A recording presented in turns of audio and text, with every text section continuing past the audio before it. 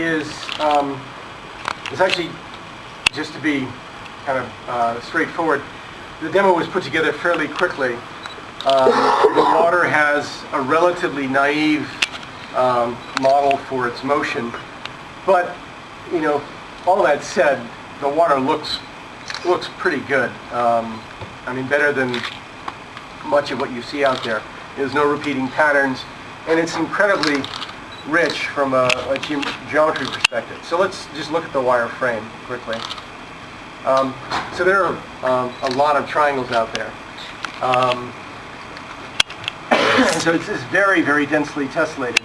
Um, let's see now. Let's go back out to, to sort of change the level of detail, I'm sorry, out to the coarse mesh. So you can see as you vary the level of detail, you get very large triangles in the foreground and still some relatively small stuff in the back. One thing I want to emphasize is that this particular program, as I was saying, was put together quickly. It's naive in, a sense, in the sense that it doesn't um, change the level of detail from the foreground to the background. So the slider over there on the right simply changes the level of detail for all of the um, all of the patches in the scene to the same value. So you get over tessellation in the back and you know, sort of un under tessellation in the front. So let's switch to the rendered view now.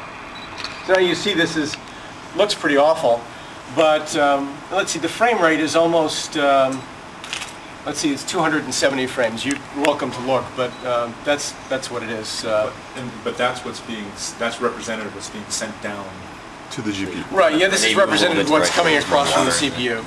Correct. All right. So now, um, actually, with the little island out of the way, it's up to 290 frames a second. Um, and then we see we have a little more sky. In any case, now if we crank up the tessellation, um, to the point where it looks looks pretty good. Um, it's down to um, 130 frames a second. Now, so that's a factor of, yeah, for my purposes, I'll just call it a factor of two in performance. But what you're seeing um, sort of bought with that factor of two in performance is probably three orders of magnitude between, say, 500 and 1,000 times the geometry that's being rendered.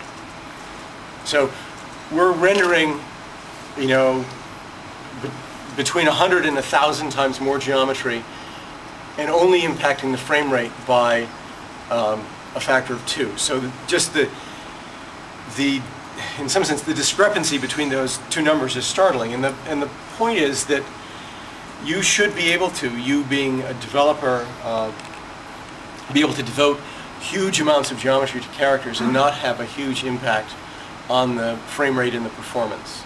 You're still, to some extent, um, being controlled by how many pixels you're drawing in the scene.